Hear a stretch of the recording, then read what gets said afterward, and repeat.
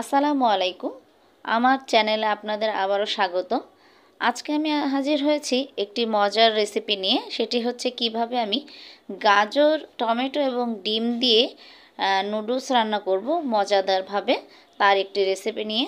চলুন তাহলে শুরু করা যাক আজকের রেসিপি। প্রথমেই আমি কড়াইতে তেল গরম করে নিয়েছি পরিমাণ মতো। এটা, এতে দিয়ে দেবো, এখন আমি পেঁয়াজ কুচি। আমি এখানে হাফ কাপ পরিমাণ পেঁয়াজ কুচি ব্যবহার করেছি। এরপর দিয়ে দিব কুচি করে রাখা চার পাঁচটি মরিচ। এখানে আপনারা আপনাদের টেস্ট অনুযায়ী ব্যবহার করবেন কাঁচা মরিচ।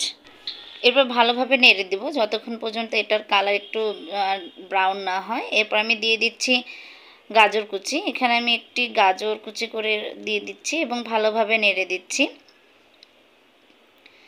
এরপর দিয়ে দিচ্ছি ডিম।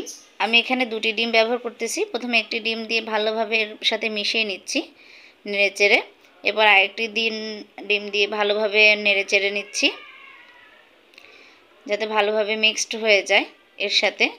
এই নরম থাকতে থাকতেই আমাকে সব কিছু ব্যবহার করতে হবে। আমি এখানে ঝুড়ি করতেছি না। এরপর আমি দিয়ে দিচ্ছি মশলা। আমি এখানে মিস্টার নুডলসের চার প্যাকেট নুডলস ব্যবহার করতেছি। তার যে চার প্যাকেট মশলা, পুরোটাই আমি এর ভিতরে দিয়ে দিচ্ছি এবং ভালোভাবে নেড়ে দিব।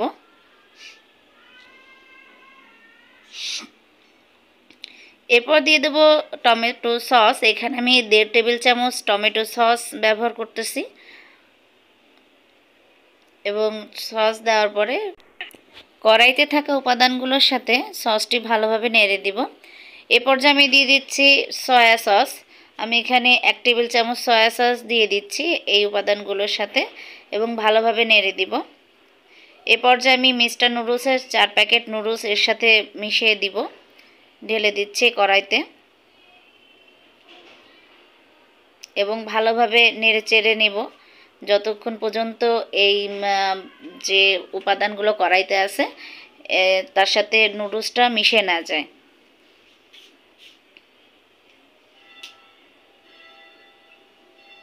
পরিমাণ মতো লবণ দিয়ে নিচ্ছি তার সাথে।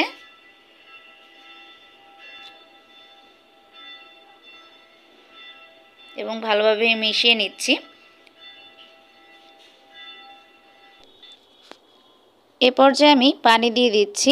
এখানে আমি এক মগের একটু কম পানি দিয়ে দিচ্ছি এবং ভালোভাবে সিদ্ধ হওয়ার জন্য পানিটা ইউজ করতেছি এবং পরিমাণ মতো না দিলে অনেক সময় কম বেশি হয়ে যায়। তাই আমি এখানে এক মগের একটু কম চার প্যাকেট নুডলসের জন্য ব্যবহার করেছি পানি। এ পর্যায়ে আমি একটু যখন হয়ে আসছে নুডলসটা তখন আমি টমেটো দিয়ে দিলাম। এখানে আমি কিউব করে ছোট ছোট করে এক একটা টমেটো কেটে রেখেছিলাম, এটা আমি এর উপরে ছড়িয়ে দিলাম এবং ভালোভাবে মিশিয়ে নিচ্ছি নেড়ে চেড়ে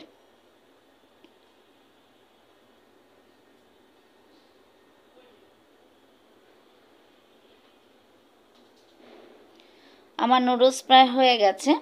এখন আমি ভালোভাবে একটু লো হিটে একটু নেড়ে চেড়ে এরপর আমি একটি পাত্রে তুলে নেব।